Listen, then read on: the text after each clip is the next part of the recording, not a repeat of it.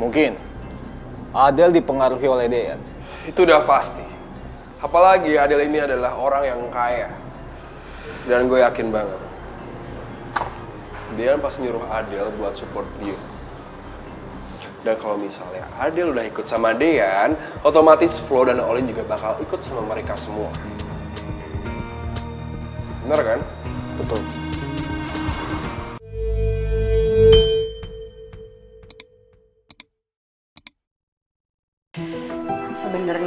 Kemarin tuh gue sempat kepikiran buat ngejauhin Marvel. Ya, gue pengen aja gitu ngetes dia.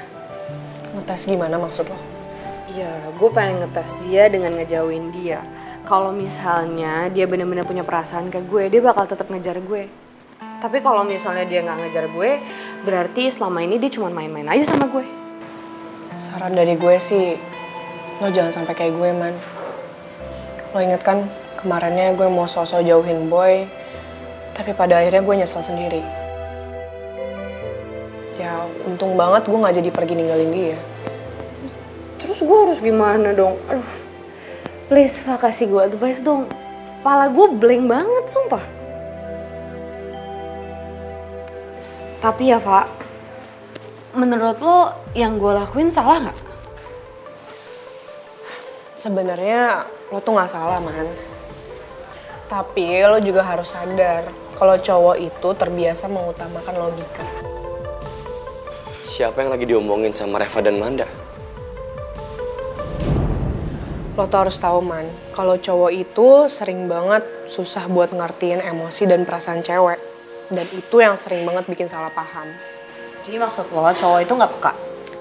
Um, Sebenarnya bukan nggak peka sih man, tapi emang mereka nggak ngerti aja apa yang kita rasain. Makanya kita tuh kadang emang harus jelasin sejelas-jelasnya apa yang kita rasain supaya semuanya jadi clear. Ya, tapi sebenarnya gue pengen dia langsung ngerti aja gitu apa yang gue mau. Iya, gue juga sering mikir kayak gitu sih. Tapi pada akhirnya gue sadar kalau gue harus lebih sabar dan gue juga harus ngalah. Gue yakin kok kalau lo secara pelan-pelan jelasin ke dia, pasti pada akhirnya dia juga bakal ngerti. Sebenarnya gue tuh takut baper sih. Kalau gue masih tahu dia sebenarnya apa yang gue rasain. Maksud lo? Lo tahu kan, Fa? Gue punya trauma. Ya, gue takut ketika gue udah bisa ngebuka hati gue dan gue udah jatuh terlalu dalam, gue takut disakitin dan diselingkuhin lagi. Wajar banget kok kalau masih khawatir. Tapi lo juga harus belajar buat buka hati dan lo harus belajar buat percaya sama dia.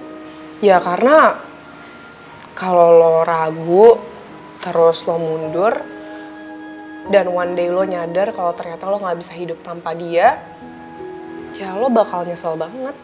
Karena semuanya udah terlambat.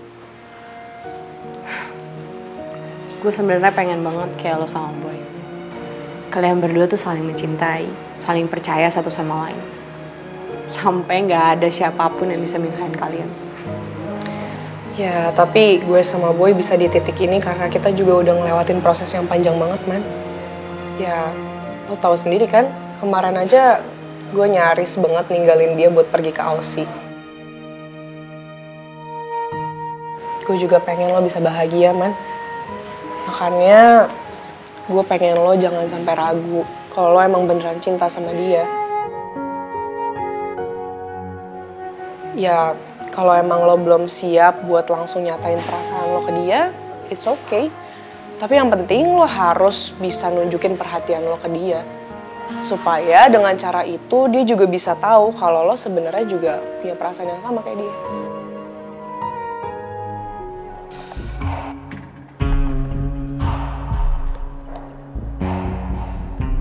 Guys, gue minta kalian semua buat latihan supaya kalian semua lebih kuat, oke?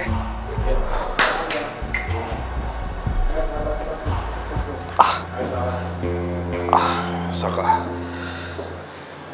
Mendingan gue bawa lo aja ke rumah sakit, biar lo bisa dirawat. Nggak perlu. Gue bisa ngobatin luka gue sendiri.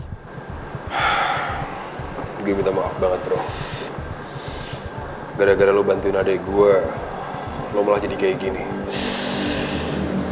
It's okay.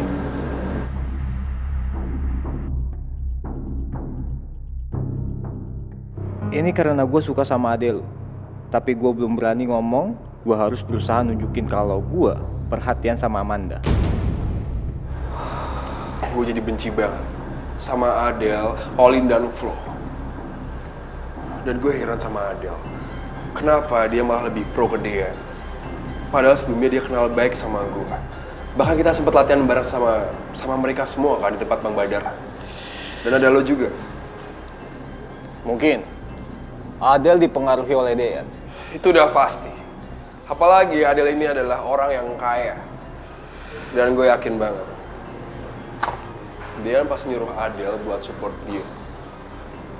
Dan kalau misalnya Adele udah ikut sama Dean, otomatis Flo dan Olin juga bakal ikut sama mereka semua. Bener kan?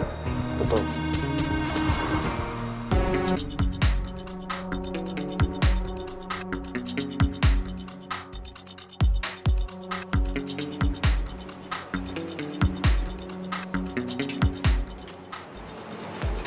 Si Adil kenapa sih? Tuh ditekuk mulu.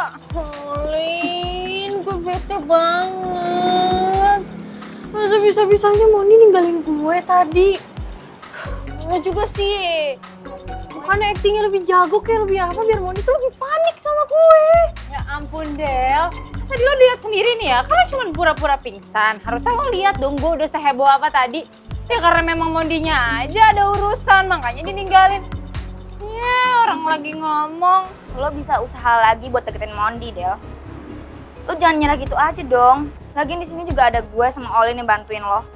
Eh, iya sih, tapi tuh harusnya nih ya. Mondi tuh lebih mentingin gue daripada mentingin yang lain tuh. Kan gue bilang jiwanya Mondi. Ya kayak mau gak bakalan ketemu lagi sama Mondi sih. Udah tenang aja. Masih banyak hari esok. Santai. Tuh. Sekarang biar gue beresin masalah ini. Gue akan telepon Adele. Oke, lu telepon dia. Eh,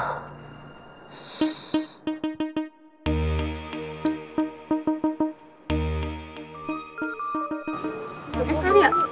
Siapa tahu yang telepon. Kali ya? Coba aja lihat dulu.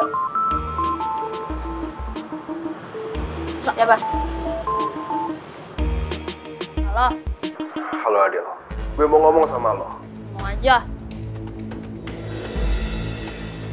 Gue heran sama lo. Kenapa lo bisa pro ke Dean? Padahal sebelumnya kita udah pernah deket. Bahkan kita sempet ngobrol bareng-bareng di kafe. Apalagi lo inget tuh, kita pernah latihan bareng juga di tempat Bang Badar buat bela diri. Lo sendiri yang ngasih tahu ke gue kalau lo mau pecah geng sama Dean. Lo pakai bikin geng serigala baru lagi. Kan it's mean lo tuh gak ngehargain gue sebagai member. Ya kan? Ya itu berarti gue, Olin, sama Flo tuh gak penting kan? Ya berarti lo harusnya gak usah komplain dong. Kalau gue lebih pro ke Dean daripada ke lo. Oke, gue gak masalah lo mau join sama gengnya Dean. Dan gue gak akan masalah lo juga buat join ke geng gue. Tapi satu hal yang harus lo ingat. Gue gak mau lo disuruh sama Dean buat nyakitin adek gue. Karena gimana pun juga, dia adek gue. Dan gue gak mau lo nyakitin apalagi sampai nyerang dia. Paham? Ya tapi kalau misalnya Amanda itu salah, gue nggak mungkin dong belain Amanda. Kalau Dean sampai nyerang Amanda, itu berarti dia nunjukin leadershipnya dia tuh lebih bagus daripada lo. Lo jangan pernah bagain Dean. Dan gue minta, lo sekarang juga jauhin Amanda. Terus menurut lo, gue bakal nurut gitu sama lo. Gue bakal mau diperintah sama lo. Udah deh Put, lo tuh gak usah bosi, gak usah kayak bocil deh.